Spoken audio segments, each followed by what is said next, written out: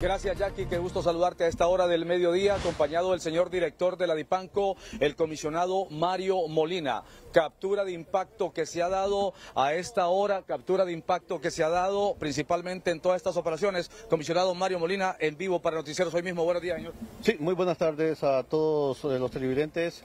El día de hoy la Dirección Policial Antemar y Pandilla y contra el Crimen Organizado en una operación eh, que se llevó a cabo en diferentes eh, ciudades y departamentos de, Honduras, eh, pues eh, en cumplimiento de 11, 14 órdenes de, captura, igual número de, allanamientos, lo que se ha logrado ejecutar asimismo se procedió al aseguramiento de bienes muebles, inmuebles y algunas sociedades mercantiles que están relacionadas con estructuras criminales que durante años han venido atentando en contra de la seguridad de, la, de lo que es la población de Honduras.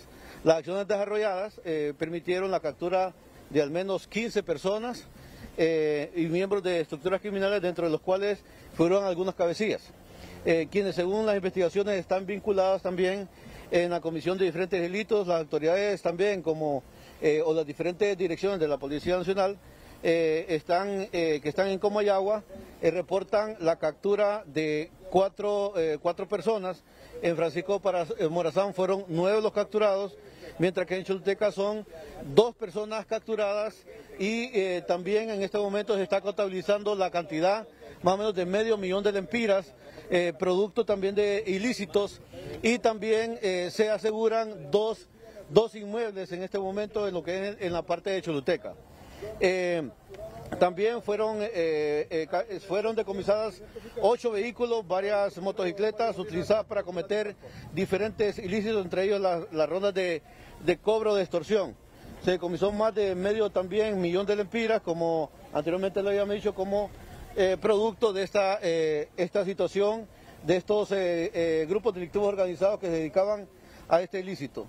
De los bienes asegurados también se reporta hasta este momento una vivienda, 11, 11 cuentas bancarias y una sociedad mercantil, la cual era utilizada como plataforma financiera para la emisión de, préstamos personales. Eh, también eh, se ha dado a conocer que, eh, porque como está en un proceso en este momento, se siguen fortaleciendo las acciones en este momento en lo que corresponde a la Dirección Policial de Maras y Pandillas, donde seguiremos nosotros capturando, identificando grupos delictivos que se dedican a este, a este ilícito. ¿Realizaban la extorsión a través de billeteras electrónicas supuestamente, señor? Así es, eh, a través de billeteras electrónicas y eh, como les digo, eh, como producto de este ilícito, ahorita se están contabilizando hasta este momento medio millón de lempiras. El comisionado Mario Molina es el director de la DIPANCO cuando se ha dado esta captura en diferentes puntos de la capital y en el territorio hondureño asumen aproximadamente a más de 15 detenciones. Junto a mi compañero Andy Turcios, Evangelina Jacqueline con ustedes. Muy buenos días.